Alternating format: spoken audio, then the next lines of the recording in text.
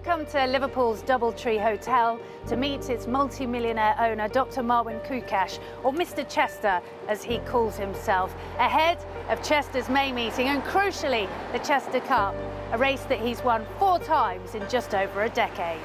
So this is the Kukash restaurant. A self-made entrepreneur, Dr. Marwan Koukash previously owned rugby league club the Salford Red Devils, but his biggest passion is horse racing, and his favourite track is most definitely Chester. Marwan, can you tell us the story of how you came to falling in love with Chester and the Chester Cup itself?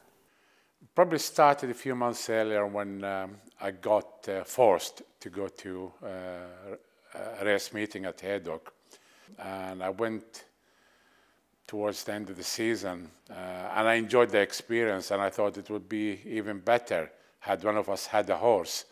So I ended up buying a horse, and two weeks later, running it in uh, in, in Haydock's uh, last uh, flat meeting of the year. And although the horse started as favorite, it finished last. And I remember Ian Williams going to the um, Newmarket sales in October, horses in training. He says to me, um, there's a good horse here, um, you know, that could take you uh, to nice places, including Chester. Uh, he's a bit of a monkey. And I remember said, I don't want a monkey, I want a horse that runs and doesn't finish last. And he bought a horse called Bulwark. So the following May, we took it to the Chester Cup. And he was totally the, the total outsider. I think he was a 66 to 1 in the morning.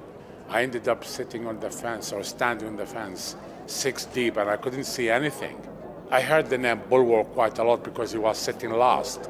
And it's tilt now, and Tom Tyler Bulwark in the grey jacket has sprinted from the back of the field with a visor on the first time. Bulwark up on the outside with Jim Crowley. Hang over the inside, but win to Tom Tyler tilt double banded. At the end of the race, there was a lot of commotion. Still, I didn't know who won the race.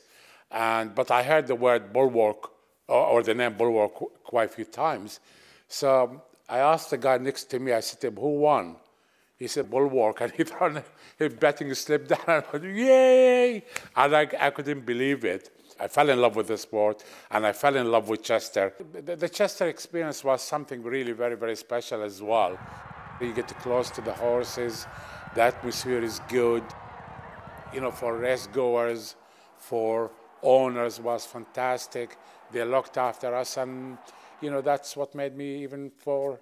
But winning the race, you know, their biggest race, and if you can't fall in love with racing after winning a big race, you'll never fall in love with it. Address Unknown pokes his white nose in front, but he's inclined to wander across the track. The great Terminator flying home from the race. Simenon runs on behind Ingleby Spirit, but signed, sealed, delivered. Spencer wins the Chester Cup for Koukash. Suegioo together with Angel Gabriel, who's carrying right across the track, drifting badly right. Suegioo coming back at Angel Gabriel. The two together, and Suegioo beats Angel Gabriel from Marwan Koukash 1-2. But here goes Magic Circle now sweeping through to take over. Magic Circle powers to the front, draws away from Fun Mac and Dubawi 50. Fran Berry has pulled the rabbit out of the hat here, and Magic Circle runs riot to win the 188 Chester Cup. I became addicted to it. I became addicted to winning Chester, but in particular, uh, addicted to winning the Chester Cup. Luckily, I won it now four times, and I enjoy saying to people, nobody's ever won it more than twice except me, and I've won it four times. The most memorable for me is last year's. That's fresh in my memory with Magic Circle winning because that threat of you stripping down to your undies or pink thong. Were you worried? To be specific. Well, Richard Thomas was worried. He was very worried. And uh, uh, he came and after the I was going to do it. You know, I'm a cra crazy. You know, I'm, I'm not uh, totally there, up there altogether. Uh, by through passion, I'd do anything. And I, I really wanted to do that. And uh, I remember Richard saying to me after the race, but why you can't do this? You'll destroy me. Do you know why? If, if I won it this year again, Richard, you better have better security officers because nothing is going to stop me. Still the same colour? Maybe go for grey this year, pink I'm, and grey. I mean, that seems to be a theme for you. Well, I think it's not going to be G-string, it's going to be shorts. I think I, I, need to be a bit more conservative with it being Chester and uh, there's a lot of old ladies there, etc. So it's going to be just boxing shorts, yeah. The trainer responsible for trying to provide Marwan Koukash with an unprecedented fifth Chester Cup is Ian Williams. He's already trained two winners of the race for him, and this year he's preparing last year's winner, Magic Circle, and new recruit, Shabib. We bought him in the summer of last year out of um, Roger Varian's and he'd shown the ability to stay and he's come to us in excellent physical condition. Um, he's been impressing on the gallops and doing everything we ask of him so um, we're really looking forward to having a crack at a, at a third Chester Cup for us and um, I think a fifth one for Marwan um, in May so yeah something nice to look forward to. He's a big unit to be going around Chester um, but I'm sure the trip will help him. And um, he stayed a mile and six nicely at Newmarket. I don't see any problems with the two miles two round Chester for him. And he's, he's a very well balanced and um, good mover, so those things will help. He's a lovely big horse, um, really fine stamp for horse, and uh, gave me a lovely feel up the gallop this morning. Just done a nice swinger up, done it really easy. Um, I think he, he, he should uh, should be spot on for the day. Ian's gallop's a great gallop and halfway through it there's a, a quite a steep hill. Um, a lot of horses find it hard work up there but he came up over the brow of the hill really easy this morning and that's always a good sign. Marwan loves Chester, he loves his, um, he loves his horses racing there. His racing passion has come from Chester and he enjoys having runners there in any of the meetings, any of the races, but obviously has a huge passion for the Chester Cup.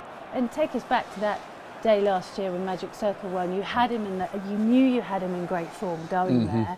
I think you were confident, but I don't think you expected quite the performance uh, you've got. No, I think um, he'd run fifth, I think, the year before and run very well from not a particularly good draw.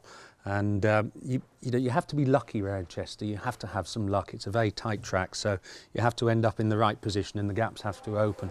It was a great achievement by horse jockey, owner trainer from the team here everybody who put any effort into Magic Circle, it was a, it was a just reward.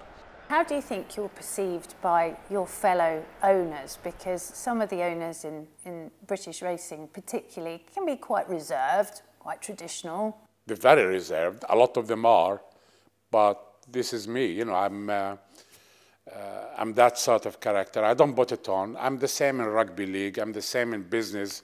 Uh, you know, I, I want to enjoy